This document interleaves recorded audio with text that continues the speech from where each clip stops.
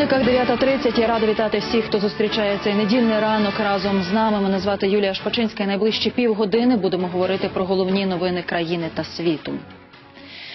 Цієї ночі 25 українських військових звільнили з полону терористів. Це бійці Нацгвардії, Збройних сил і 39-го територіального батальйону. Усі вони перебували у Сніжному після того, як російські десантники взяли їх у полон під час боїв під Іловайськом майже 70 діб тому. За процесом обміну стежив наш кореспондент Веніамін Трубачов. Він зараз із нами на прямому зв'язку.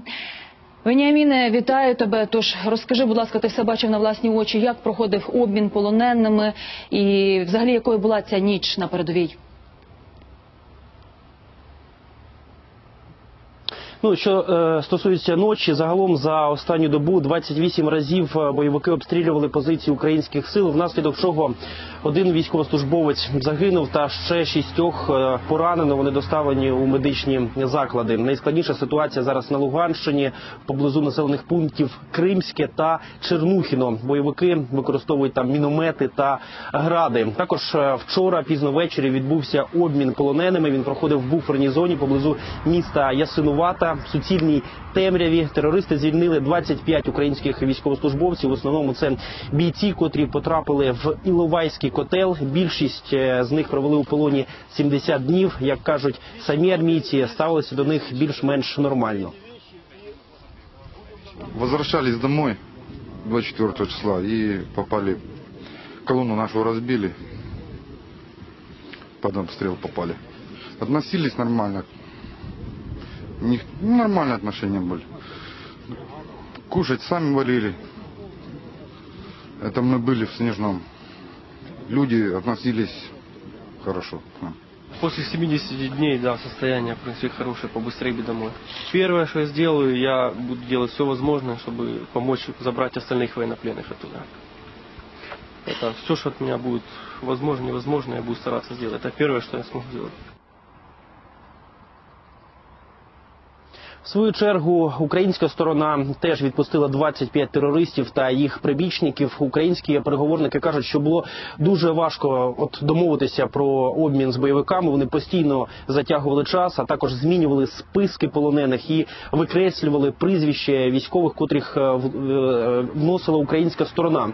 В результаті якраз е, цього обміну були звільнені лише рядові українські військовослужбовці. До последнего момента шли переговоры. В этот раз они были достаточно тяжелые, очень нервные. Нам не отдают офицеров или нам не отдают бойцов батальонов. Хотя и офицеры, и бойцы батальона тоже люди. И у них есть тоже близкие, жены, которые их ждут, и, мамы, и отцы, и братья. Ось це був один із е, найбільших обмінів за останній час, коли наступний невідомий. І ось додам, що у полоні ще залишаються сотні українських військовослужбовців. Юлія. Дякую тобі, Веніаміне. Бережи себе.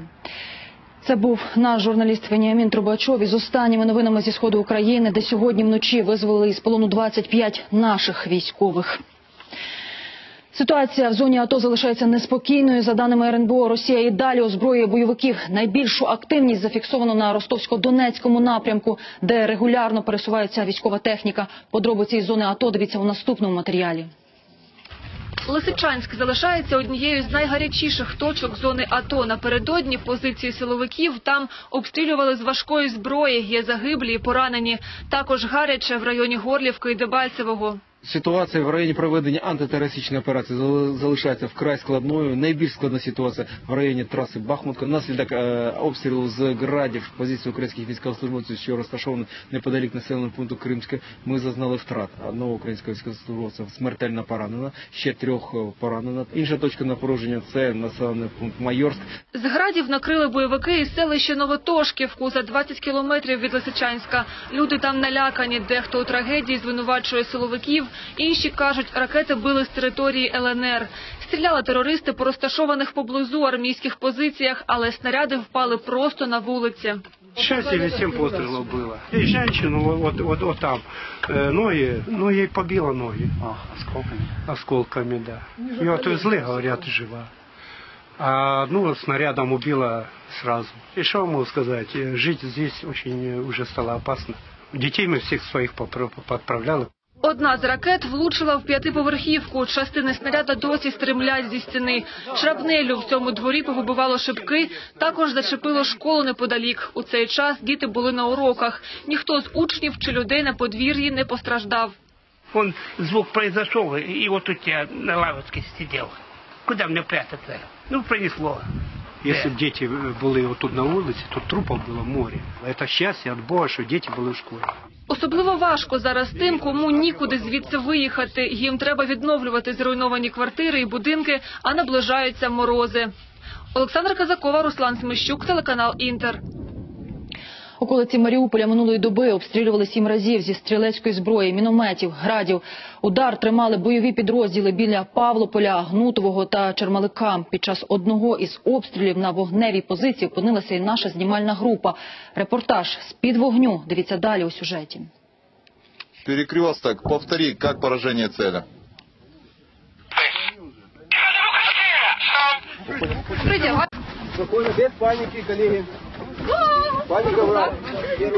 Тут зазвичай сплять щонайбільше по четверо, а тепер тридцять, але в тісноті не під снарядами. так накрыли, что это самое. Ну ничего, я сало, кусок сала нес, я его не выбросил. Я же знаю, что сало это ж э, опиум. Ну а что, если я не покушал бы, я вообще бегать бы не смог. Все нормально, мы... О, это, это рядом. Без усмішки ніяк, майже всі одесити. Моряк. Таксист. Педагог. Повар. Есть вот медик. До призыва работал на тракторе, да. А потом четыре раза пытался пойти в армию, еле попал. Сейчас у меня э, это самое, шайтан труба. да. СПГ. Убийца танков. Скільки часу сиділи в бліндажі, ніхто не знає. Залпи затихли, всі залишилися цілими. Гильза, солнце, иди сюда. Гильзочка. Рада, пережила? Ах, что, все хорошо будет? Все будет хорошо, правда? Молодцы. Тепер можна і роззирнутися. Все, що було випране, добряче потріпало. Эту тему белье. Ну, то она вот туда. Прошила. Ну, туда, то осколками все бьются. Вот. Прошила. А что тут за носы? Это вот носы? Это что Родина нам выдала, вот хай нос. Наша машина стояла осторонь, але все одно колесо пробите осколком. Это вы еще легко отделали. У наших колег тепер діра у дверях, а ось це літало над нашими головами. 20 минут назад боевики обстреливали наши позиции. Відповідь бойовикам українські танкісти на позиції.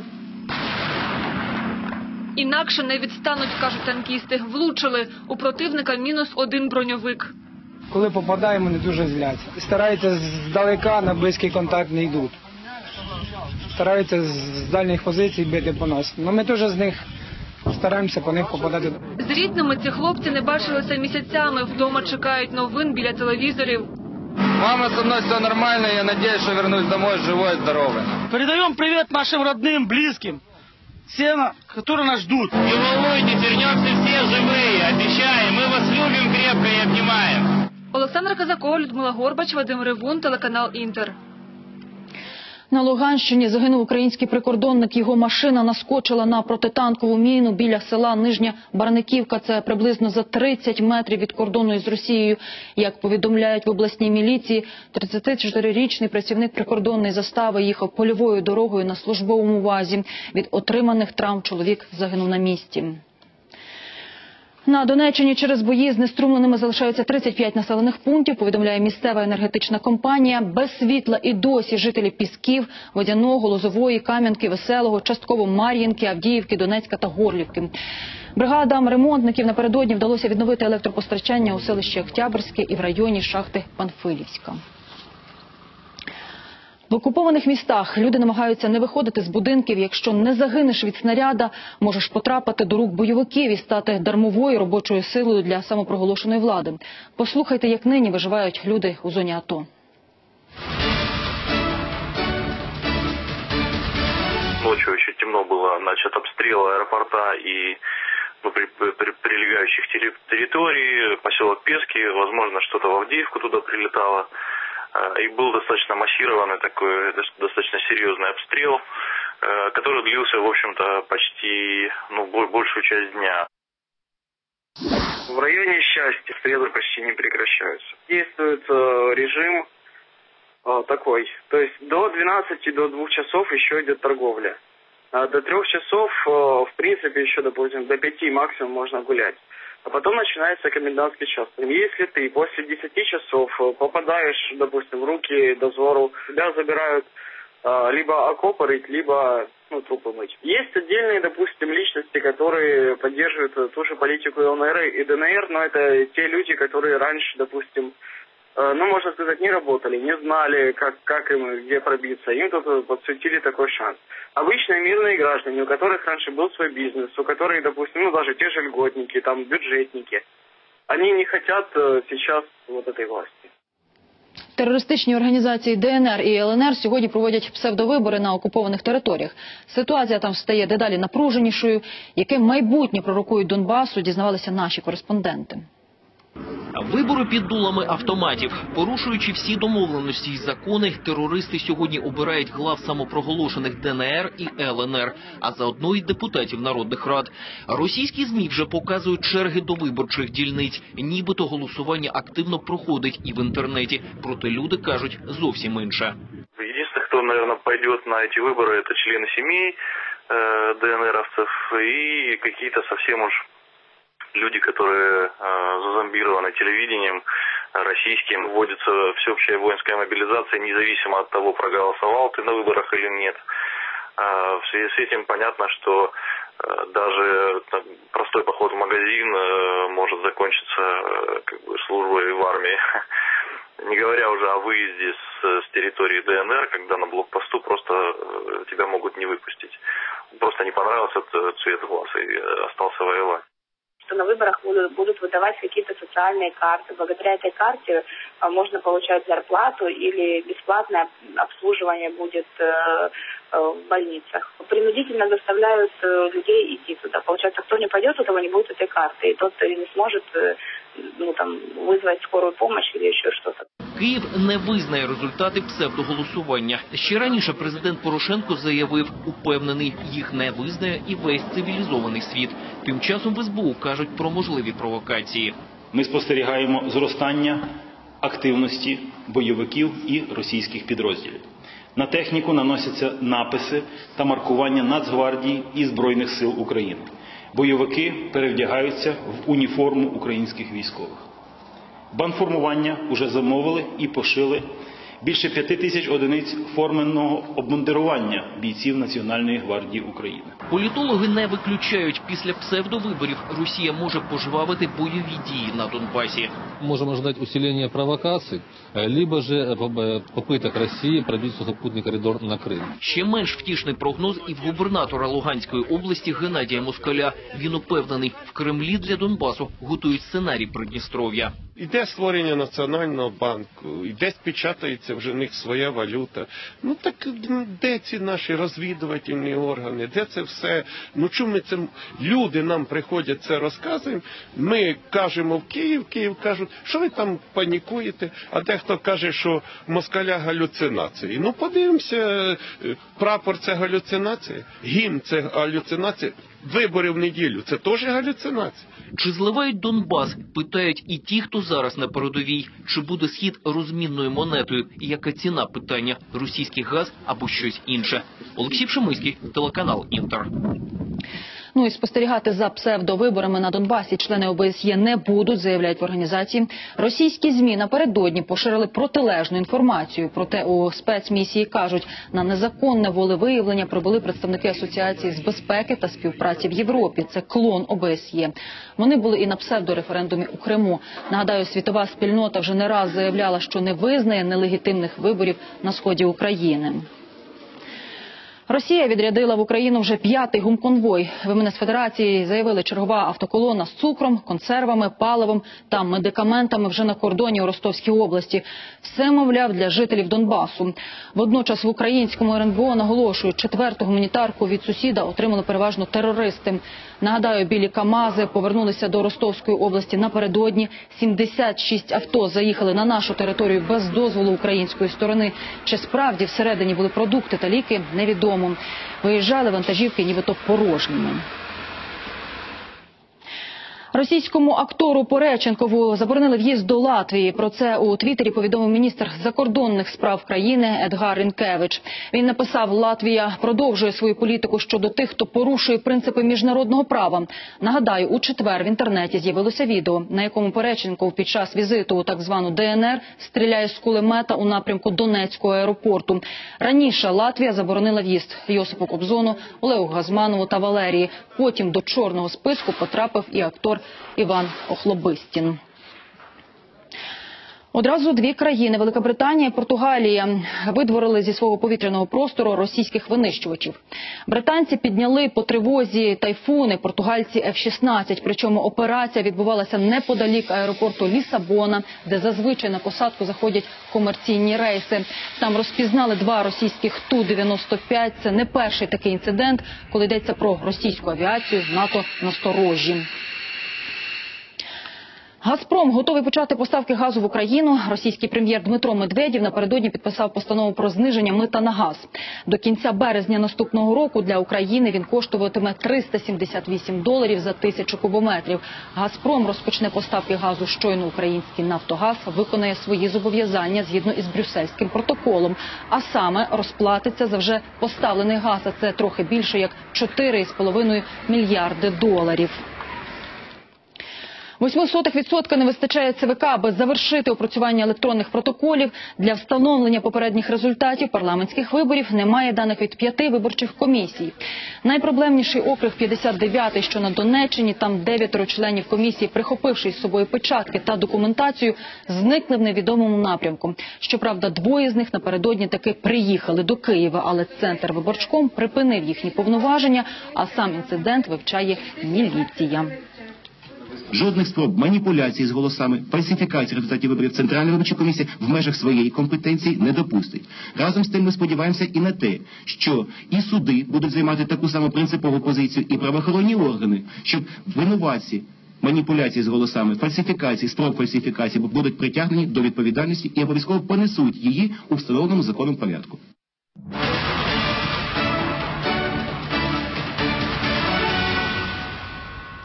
Правоохоронці затримали двох підозрюваних у підпалі столичного кіно- кінотеатру Жовтень. Вину зловмисників зафіксували камери відеоспостереження. Студент і його безробітний приятель уже зізналися. кажуть, хотіли лише зірвати кіносеанс, аби показати своє негативне ставлення до фільму про секс меншини. Спалювати вони будівлю не збиралися. Під час обшуку у гуртожитку, де проживають зловмисники, правоохоронці виявили ще й три гранати. За цими фактами триває слідство.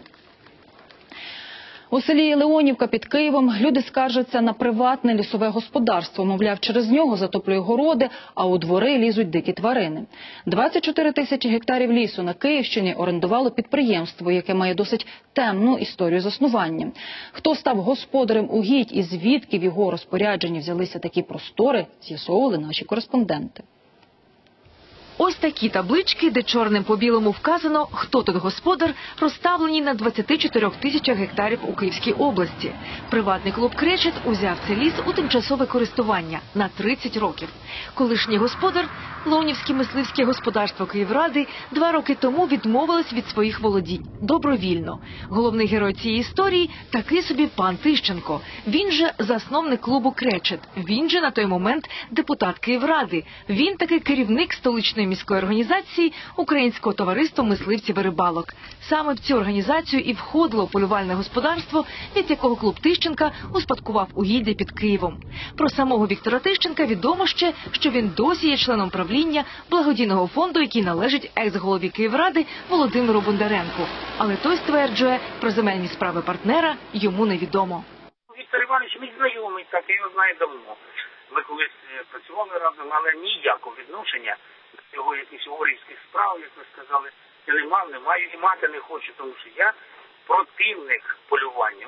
У маленькій Леонівці сусідство з великим приватним лісовим господарством не раді.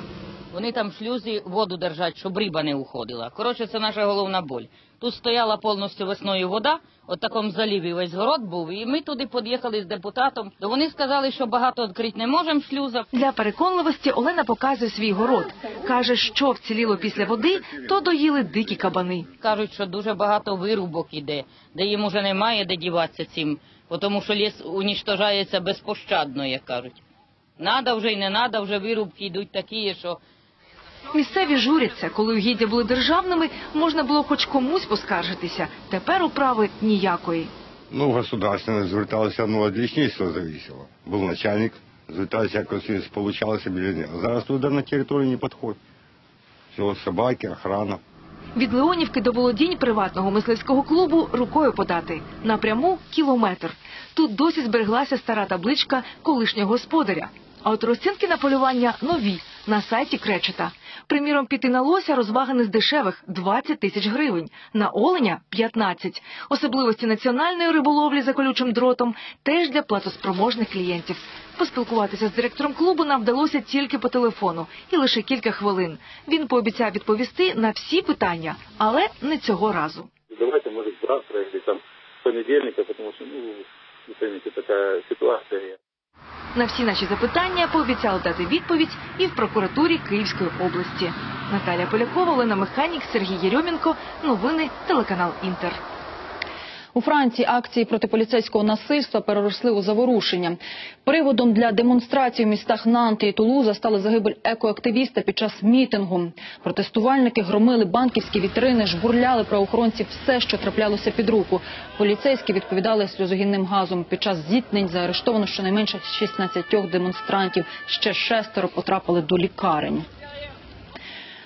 У Франції госпіталізували співробітницю ООН, яка заразилася лихоманкою Ебола. Жінку евакуювали у С'єра Леоне спеціальним літаком. Хвору помістили в карантинне відділення госпіталю, у якому раніше успішно пройшла лікування від смертоносного вірусу французька медсестра, волонтер міжнародної організації Лікарі без кордонів.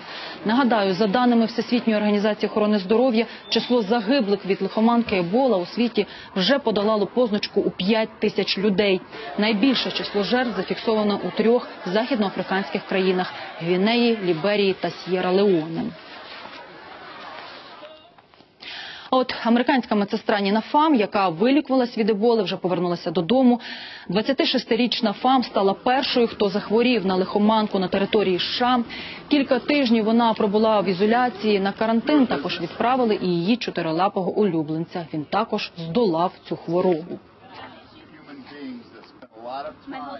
Сподіваюсь, що з моїм зціленням від еболи лікарі просунулись на крок уперед у розробці ліків від лихоманки. Після того, як у мене діагностували хворобу, я не знала, що буде з моїм другом Бентлі. І сьогодні я вдячна за можливість особисто подякувати тим, хто доглядав його увесь цей час. Відомі компанії Apple та Facebook зробили дивакувату пропозицію своїм співробітницям. Аби ті не поспішали у декрет, керівництво компанії пропонує заморозити їхні яйцеклітини та сплатити за цю процедуру гроші. Тож за які гроші намагаються купити час, розкаже Юлія Орленко. Сара Елізабет Річардс – американська журналістка. Їй 44. Вона красива, успішна, але бездітна. У 35 вона зрозуміла, годинник не зупинити. І з кожним роком шансів завагітніти стає все менше. Тоді та й наважилась заморозити свої яйцеклітини. Сара розуміє, можливо, вона ніколи й не стане мамою. Однак навіть така теоретична можливість робить її щасливою. Я би хотіла побачити своїх дітей, хотіла би проводити з ними час, гуляти разом у парку. Коли раптом у голові з'являється думка, цього може не трапитись, бо вік уже такий, що як найближчим часом не зустрінеш когось, і це не переросте у серйозні стосунки, то можна втратити свій шанс. У Сари була чудова кар'єра, громадянський шлюб, який розпався, а потім низка стосунків, протягом яких жінка постійно чула «не зараз». Схожих історій в Америці багато, і тих, хто наважується на заморожування яйцеклітин, стає дедалі більше.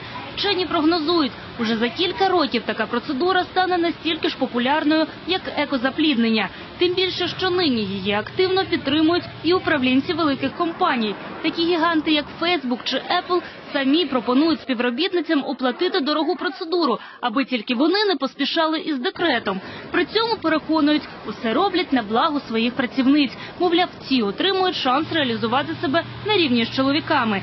Ті ж, хто погоджується на процедуру, зізнаються. Основна причина все ж таки в особистому.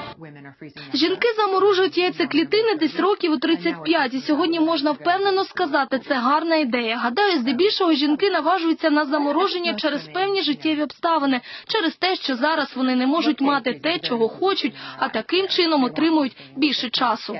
Щоб заморозити яйцеклітину в США, слід викласти від 7 до 12 тисяч доларів, плюс утримання 4 тисячі на рік. До того ж, лікарі рекомендують заморожувати не менше 20 яйцеклітин. От тільки гарантії того, що майбутні ембріони успішно приживуться, а діти народяться цілком здоровими, ніхто не дає.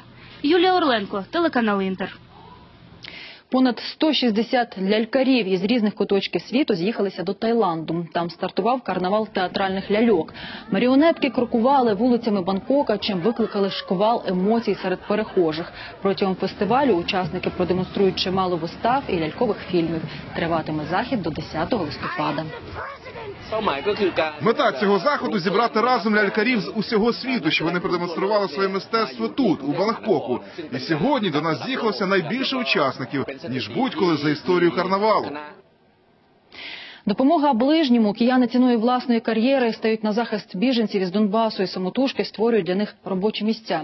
Крім того, спільно із переселенцями ще й солдатам на сході допомагають. Як саме дивіться далі. Теж патріотичність любові, дуже хочеться все одно зберігати постійно якраз саме такі кольори жовто-блакитні, хоча були зіткнулися з тою ситуацією, що жовто-блакитні тканини закінчуються найшвидше у постачальників. Ось таку невигадливу продукцію шиють на новоствореному підприємстві: рюкзачки, торбинки та прапори. Оксана своє обличчя показувати не хоче. Переїхала із Маріуполя, займалася пошиттям і раніше. Тож, не замислюючись, погодилася на цю роботу в Києві, щоб прогодувати себе з двома дітьми, а не чекати державної копійки. Переехать мы решили в тот момент, когда на, на подъездах, на парадных появились объявления а, о том, что с собой нужно брать в случае бомбежки. Оказалось, что в городе бомбоубежищ нет, и у меня маленький ребенок на руках. Конечно, здесь возник очень острый вопрос ну, с поиском работы. Заради такого проекту для біженців Інна тимчасово призупинила власний бізнес. Він базувався ось у цьому приміщенні. Тепер тут гудять швейні машинки. Просто самим самою волонтерською підтримкою ну, просто давати людям вже готову там їжу. Це ну волонтерам не вистачить ресурсів. І в нас тоді виникла розуміння необхідності створювати для людей можливість заробляти. І ми розуміємо, що ще проект має жити, тому що, власне кажучи, ситуація затягується і затягується. Хоч з невисокими зарплатами, хоч тимчасово, але вони намагаються дати роботу тим людям, які були змушені покинути домівки. Адже ця неоголошена війна триває уже більше як півроку, і все менше грошей жертвують пересічні люди. Можливість допомагати зараз буде набагато менше. Треба зараз шукати нові за рахунок волонтерських ініціатив, за рахунок об'єднання, шукати нові форми е, допомоги. Треба вже традиційні форми, що там люди добрі дайте гроші. Вони ну не діють. Левову частку цієї продукції віддають задарма. Її забирають волонтери, які регулярно бувають на передовій.